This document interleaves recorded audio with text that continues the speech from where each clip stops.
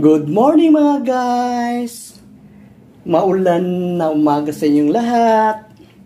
Ito ngayon guys. So this video, gusto ko lang i-share itong ginagawa ko tuwing umaga. Ayan guys, namimitas po ako ng mga bulaklak para sa aking mga amo guys. Ginagamit sa pagdadasal nila guys. Ayan.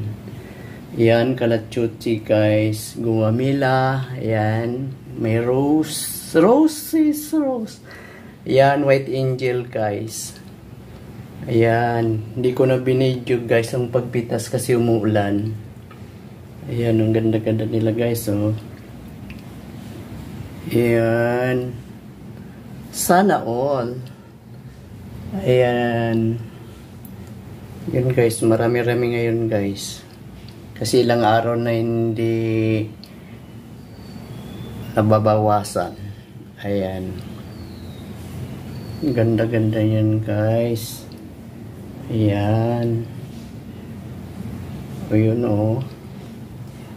Okay. Ayan na siya guys. Ang mga pinitas kong mga bulaklak. Ayan. Pitasin mo baby! Ayan. No guys, ang ganda-ganda niyan guys. Ayan. Okay. Bye-bye guys. Love you. Toing!